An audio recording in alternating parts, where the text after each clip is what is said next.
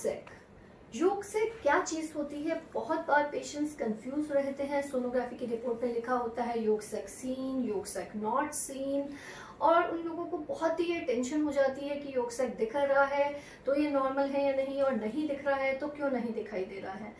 तो basically yolk सेक का क्या फ़ंक्शन होता है और क्या इसकी इंपॉर्टेंस होती है सोनोग्राफी के अंदर? वही हम आज यहाँ पे डिटेल में जानेंगे। मैं doctor Deepti Jain gynaecologist so basically yolk sac होता क्या है? योग सेक एक मैम्ब्रेनस सैक जैसी चीज़ होती है, यानी कि मैम्ब्रेन्स का एक सैक जैसा चीज़ होती है जो एम्ब्रियो को कवर करती है।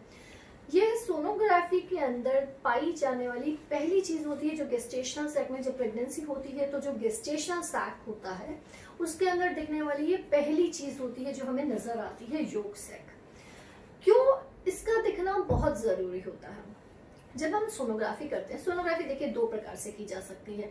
या तो हम उसे ट्रांस एब्डोमिनल करते हैं, यानी कि पेट के ऊपर से सोनोग्राफी का प्रोब रख के चेक करते हैं, या फिर ट्रांस वेजाइनल की जाती है, यानी कि नीचे से वेजाइना के रूट से सोनोग्राफी की जाती है। तो जब हम ट्रांस एब्डोमिनल सोनोग्राफी कर रहे हैं, यानी कि ऊपर से चेक कर रहे हैं तो जब पेट के माध्यम से हम चेक करते हैं चीज़ें तो उसमें यूजुअली चीज़ें थोड़ी हमें डिलेड पता चलती हैं, थोड़ी हमें लेट पता चलती हैं। जबकि जब हम ट्रांस वेजाइनल सोनोग्राफी करते हैं तो हमें चीज़ों का थोड़ा जल्दी आइडिया लगता है, क्योंकि वहाँ से जब हम चेक करते हैं तो बच्चेदानी थोड़ी पास में होती है और हमें ज़्यादा इजीली चीज़ें नज़र आती हैं। तो आते हैं पहले ट्रांस एब्डोमिनल सोनोग्राफी पे। तो ट्रांस एब्डोमिनल सोनोग्राफी जब करते हैं तो उसके अंदर गेस्टेशनल सैक जब 20 एम mm का पहुँच जाए 20 एम mm से यूजुअली पहले ही हमें योग से एक नज़र आ जाता है। लगभग सात हफ़्ते की प्रेगनेंसी छह, सात सात हफ़्ते की प्रेगनेंसी तक और जब गेस्टेशनल सैक की साइज़ 20 एम mm जितनी हो जाती है, तब तक हमें yolk sac usually majority of the cases में नज़र आ जाता है। जबकि जब हम ट्रांसवेजनल सोनोग्राफी करते हैं तो यूजुअली ये गेस्टेशनल सैक हमें साढ़े पाँच, छह हफ़्ते की प्रेगनेंसी में ही नज़र आ जाता है और जब गेस्टेशन सैक का साइज़ दस एम जितना ही होता है, तभी हमें ये नज़र आने लग जाता है। ये हमारे लिए इम्पोर्टेंट इसलिए होता है क्योंकि एक लिमिट के आगे, यानी कि छह सात हफ़्ते के अंदर ये यूजुअली अपियर हो जाता है। लेकिन अगर छह सात हफ़्ते में भी हमें ये नहीं दिख रहा है तो हमें ये देखना रहता है कि ये क्या प्रेगनेंसी में सब कुछ ठीक चल रहा है?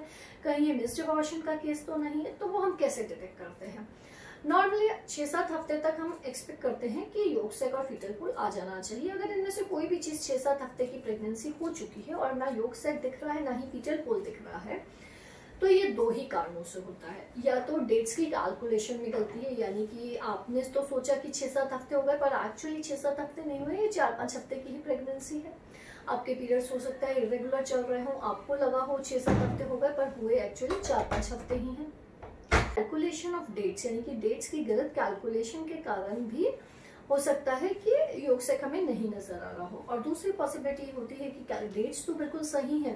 छह से सात हफ़्ते की प्रेगनेंसी हो गई, पर एक्चुअली में योग से अपियर ही नहीं हुआ है, यानी कि एक मिस्ड अबॉर्शन का केस है एक एन एम्ब्रियोनिक प्रेगनेंसी है, यानी कि प्रेगनेंसी तो हुई है, लेकिन उसके अंदर एम्ब्रियो ग्रो नहीं कर रहा है, बच्चा ग्रो नहीं कर रहा है, और ये प्रेगनेंसी आगे बढ़ने वाली नहीं है, ये एक मिसकैरेज में लैंड अप करने वाली है।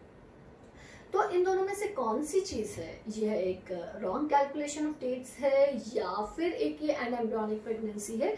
इसका कंफर्मेशन हमें होता है जब हम, जो सोनोग्राफी होती है, हम यूजुअली पेशेंट को बोलते हैं कि दो हफ़्ते बाद सेम सोनोग्राफी को हम रिपीट करके देखते हैं।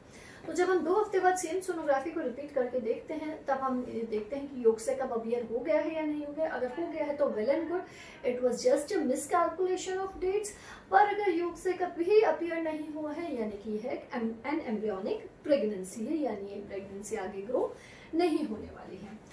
योग से की एक और इंपॉर्टेंट सिग्निफिकेंस होती है, योग से के द्वारा हमें पता चलता है कि ये जो इंट्रायूट्राइन प्रेगनेंसी है, जो बच्चेदानी के अंदर जो प्रेगनेंसी है, वह किसी भी प्रकार का सूडोगेस्टेशनल सैक नहीं है, वो एक एक्चुअल इंट्रायूट्राइन प्रेगनेंसी है।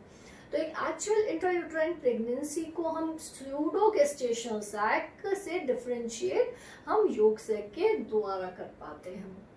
योग सेट का बेसिकली जो साइज़ होता है, वह छह एम से छोटा होता है और वह है एक स्फेरिकल स्ट्रक्चर की तरह दिखाई देता है।